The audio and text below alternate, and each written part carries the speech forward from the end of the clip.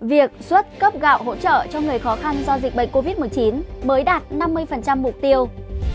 Thành phố Hồ Chí Minh thiếu lao động trầm trọng. Gần 7.000 người làm đơn đón thân nhân về Sài Gòn. Đồng Nai xác minh clip dân quân, dân phòng đánh ẩu đả với hai người dân. Vụ ghi vượt số khối nước của dân, công ty cấp thoát nước Khánh Hòa giải thích. Quý vị và các bạn đang theo dõi bản tin trong nước sáng ngày 5 tháng 10 của DKN TV. Lời đầu tiên, Nguyễn Tươi xin kính chúc quý khán thính giả có một ngày mới sức khỏe và bình an. Và tiếp sau đây là các nội dung chi tiết.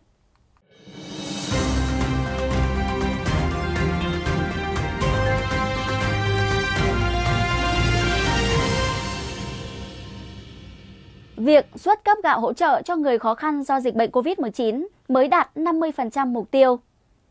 Kính thưa quý vị, Tổng cục Dự trữ Nhà nước Việt Nam cho biết đã xuất khoảng 65.000 tấn gạo trên tổng số 135.000 tấn theo quyết định của Thủ tướng Chính phủ về việc xuất cấp gạo từ nguồn dự trữ quốc gia để hỗ trợ cho người dân gặp khó khăn do dịch bệnh COVID-19. Quyết định này được ban hành vào hôm 20 tháng 8, nhưng đến nay, sau hơn 6 tuần mới xuất được một nửa số theo mục tiêu đã đề ra. Với hơn 65.000 tấn còn lại, báo trong nước cho biết Tổng cục Dự trữ sẽ triển khai xuất cấp sớm nhưng không cho biết cụ thể thời gian. Trong một diễn biến có liên quan, cơ quan nhà nước đã xuất hàng trăm bộ nhà bạt cứu sinh và hàng chục bộ máy phát điện cho Bộ Quốc phòng, thành phố Hồ Chí Minh và một vài tỉnh. Trong một diễn biến khác, đại biểu Quốc hội Nguyễn Thiện Nhân đề nghị triển khai gói hỗ trợ cho doanh nghiệp, người dân và người lao động từ nguồn nợ công trị giá 410.000 tỷ đồng, tương đương với 6,5% GDP. Báo Pháp luật online vào ngày 2 tháng 10 dẫn phát biểu của ông Nhân tại buổi tiếp xúc với cử tri doanh nghiệp. Ông Nhân cho biết ông đã so sánh với chính sách của các nước trên thế giới như Hoa Kỳ, Đức. Ông Nhân nhấn mạnh, ở các quốc gia này, chính phủ cấp tiền trực tiếp cho từng người dân khi mà người dân không có việc làm. Vẫn theo lời đại biểu Nhân, các giải pháp hiện nay không tương thích với tình hình vì chưa bao giờ xảy ra tăng trưởng âm cả năm ở thành phố Hồ Chí Minh. Doanh nghiệp chỉ hoạt động 20%, còn 80% phải ngưng hoạt động cũng là tình huống chưa từng có. Kính thưa quý vị, các khu công nghiệp, khu chế xuất tại thành phố Hồ Chí Minh đang thiếu trầm trọng công nhân do lao động ở các đơn vị này đã giảm khoảng một nửa so với giai đoạn trước ngày 1 tháng 10. Thông tin được ông Phạm Đức Hải, Phó Ban chỉ đạo phòng chống dịch bệnh COVID-19 thành phố Hồ Chí Minh nói tại buổi họp báo về công tác phòng chống dịch bệnh trên địa bàn vào chiều ngày 4 tháng 10. Cuộc họp diễn ra trong bối cảnh thành phố đã bước sang ngày thứ tư thực hiện chỉ thị 18 về biện pháp phòng chống COVID-19, từng bước phục hồi phát triển kinh tế xã hội. Kể từ khi chính quyền thành phố Hồ Chí Minh dỡ bỏ lệnh phong tỏa ngặt nghèo do dịch bệnh COVID-19 vào ngày 1 tháng 10, đã có gần 90.000 lao động ngoại tỉnh rời khỏi thành phố để trở về quê nhà, dẫn đến tình trạng thiếu hụt lao động ở các công ty tại thành phố trung tâm kinh tế của cả nước. Các hình ảnh và video được người dân quay trực tiếp trong các ngày qua tại các cửa ngõ ra vào thành phố Hồ Chí Minh cho thấy hàng đoàn người lao động đã rời khỏi thành phố bằng xe máy để về quê, gây ách tắc tại nhiều nơi. Thậm chí đã có nơi xảy ra hiện tượng người dân phá chốt, quỳ lại công an để được cho qua chốt về quê, hay hiện tượng quân đội đánh người dân. Một số người dân cho biết họ đã bị kẹt lại trong thành phố rất nhiều tháng vì lệnh phong tỏa, mất việc, mất thu nhập. Họ đã quá mệt mỏi và muốn được về quê để làm nông nghiệp. Phó Chủ tịch Ủy ban nhân dân thành phố Hồ Chí Minh Lê Hòa Bình kêu gọi người lao động ngoại tỉnh ở lại vì thành phố đang thiếu lao động trầm trọng. Một doanh nghiệp ở thành phố Hồ Chí Minh cho biết, công ty này hiện chỉ có được 60% lao động cần để thực hiện các dự án, trong khi rất khó để tuyển thêm lao động. Trong khi đó, theo truyền thông nhà nước, trong các ngày vừa qua, lãnh đạo nhiều tỉnh miền Tây đã gửi công văn kiến nghị chính phủ chỉ đạo các tỉnh thành miền Đông siết chặt kiểm soát, không để người dân rời khỏi địa bàn. Lý do được đưa ra là các tỉnh miền Tây đã tiếp nhận hàng chục nghìn người lao động về quê, trong khi cơ sở để tiếp nhận người về cách ly lại không đủ. Lý do được chính quyền đưa ra là các tỉnh miền Tây đã tiếp nhận hàng chục ngàn người lao động về quê, trong khi cơ sở để tiếp nhận người về cách ly lại không đủ. Chính quyền các tỉnh này đã đề nghị Thủ tướng Chính phủ, tổ công tác đặc biệt của Chính phủ chỉ đạo thành phố Hồ Chí Minh, các tỉnh Bình Dương, Đồng Nai, Long An, những nơi tập trung nhiều khu công nghiệp và lao động ngoại tỉnh, vận động người dân ở lại thêm 15 ngày nữa để các địa phương này chuẩn bị đủ cơ sở cách ly sẽ tiếp nhận thêm đợt người mới. Kính thưa quý vị, 3 ngày qua, có gần 7.000 người nộp đơn đề nghị được đi các tỉnh thành để đưa người thân con cái về thành phố Hồ Chí Minh. Trong đó, gần 2.600 trường hợp được giải quyết.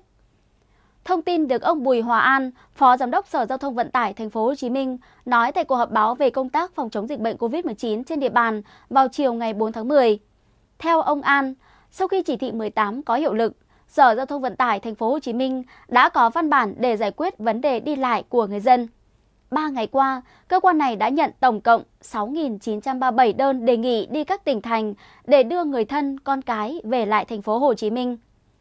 Theo phương án tổ chức đi lại ở thành phố Hồ Chí Minh được Sở Giao thông Vận tải thành phố thông báo vào hôm ngày 2 tháng 10, người dân ở thành phố Hồ Chí Minh muốn đến các địa phương khác để đón bệnh nhân, con nhỏ, thai phụ. Phỏng vấn trước khi ra nước ngoài cùng một số trường hợp cấp bách phải gửi đơn qua email đến Sở Giao thông Vận tải, nêu rõ lý do, kế hoạch đi lại để được xem xét giải quyết trong 48 giờ. Trước khi được về thành phố Hồ Chí Minh, người dân cần phải có sự cho phép của cơ quan thẩm quyền, gồm văn bản của Ủy ban nhân dân tỉnh thành nơi đi hoặc Sở Giao thông Vận tải thành phố Hồ Chí Minh. Trong đó, đơn đề nghị gửi Sở Giao thông Vận tải thành phố Hồ Chí Minh cần kèm bản chụp giấy tờ tùy thân và các giấy tờ liên quan.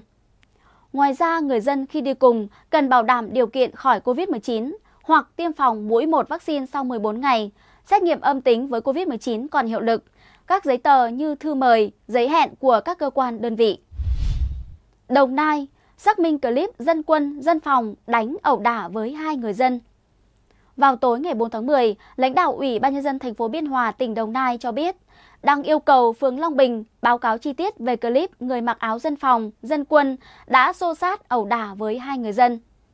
Theo tìm hiểu của phóng viên, sự việc xảy ra trên đường Yên Thế, gần chợ K860, khu vực phường Long Bình, thành phố Biên Hòa, tỉnh Đồng Nai vào trưa cùng ngày.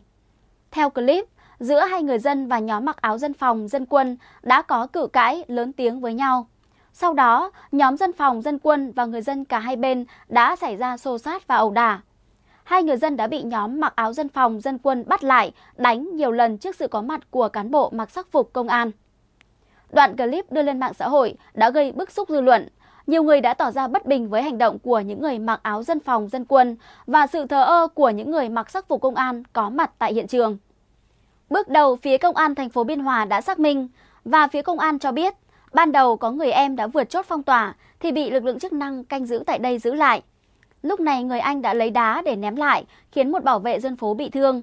Lực lượng dân quân dân phố bức xúc đã có hành động như clip đăng trên mạng xã hội. Sau sự việc, Công an thành phố Biên Hòa đã có mặt tại hiện trường để đưa người bị đánh đi khám. Hiện công an đã mời hai bên làm việc để làm rõ nguyên nhân dẫn đến vụ ẩu đả. Vụ ghi vượt số khối nước của dân, công ty cấp thoát nước Khánh Hòa giải thích. Ngày 4 tháng 10, trên mạng xã hội xuất hiện tài khoản Huân Vinatech đề nghị chính quyền điều tra về vụ tính tiền nước của công ty cổ phần cấp thoát nước tỉnh Khánh Hòa. Hàng trăm lượt chia sẻ và hàng ngàn bình luận sau đó. Tài khoản này cho rằng nếu có sự sai sót thì số tiền tính toán sẽ lên tới 1 tỷ đồng. Và trong sáng ngày 4 tháng 10, hàng trăm người dân đã lên công ty cổ phần cấp thoát nước Khánh Hòa phản ánh về vụ tính gấp 2 đến 3 lần tiền nước các tháng trước. Tài khoản này còn cho rằng cách thức của công ty là cố gắng làm sao cho dân vượt mức để phạt. Theo tài khoản này, tháng 6, nhân viên đã đi đọc chỉ số 14 mét khối. Tháng 7, nhân viên không đi đọc và tự gán 10 mét khối tháng 8 tự gán 5 mét khối. Nhưng đến tháng 9 thì nhân viên đi đọc chỉ số 31 mét khối, vượt mức 20 mét khối và khách hàng phải bị phạt. Dân đã khổ vì dịch bệnh, còn bị thêm công ty độc quyền ức chế tính toán lừa đảo để trục lợi. Nếu tôi nói sai, Sở Thông tin Truyền thông và cơ quan cứ mời tôi lên làm việc.